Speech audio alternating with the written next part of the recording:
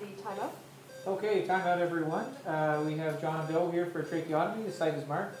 Uh, there's no sides marked. It's a midline procedure. Myself and Dr. Pulkki will do the case. Antibiotics make it in. Yes. Patient is supine with neck extended. There's no imaging, no specific cusp. Uh, we'll follow appropriate VTE prophylaxis. Any questions or concerns? No. Fire safety level is a three. Uh, minimize aerosolized particles. We use uh, judicious use of cautery with an appropriate smoke evac. And we'll paralyze the patient when we'll discuss specific measures for making the tracheotomy window at that portion of the procedure to minimize aerosolization. Okay. So as we previously discussed, I'm going to paralyze the patient now. If there's any accidental disconnects, I will let the team know. Okay, great. That's 100 of rocuronium going in. Okay. Are you okay if we start? Yes, I've got the twitch monitor on. We will confirm that he's completely paralyzed before we, before we, Sounds good. I'll infiltrate a little bit of uh, lidocaine with epinephrine into the soft tissues of the neck for hemostasis, and analgesia. Get that back.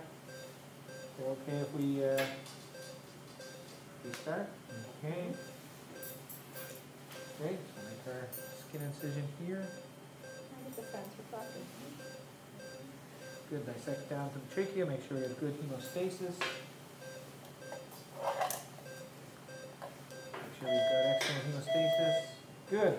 So, okay, so we have the trachea exposed now. You can see the cricoid, you can see the tracheal rings.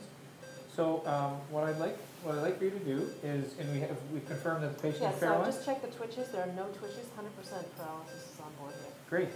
So uh, at this point, I'll have you pause ventilation, deflate the cuff, and uh, advance the tube distal to the anticipated site of the tracheotomy window. Yep. And at that point, you can reinflate the cuff. Yep, okay, so I'm stopping ventilation now.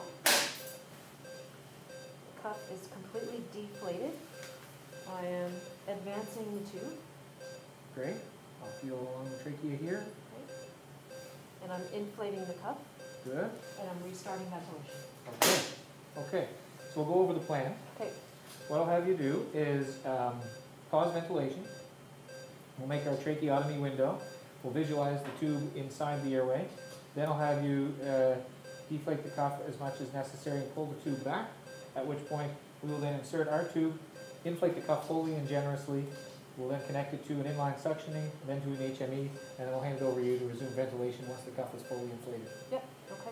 And I see that your extension, your HME and your inline is already in, in place. Yep. And we will just connect that to the tube when we're, when we're ready.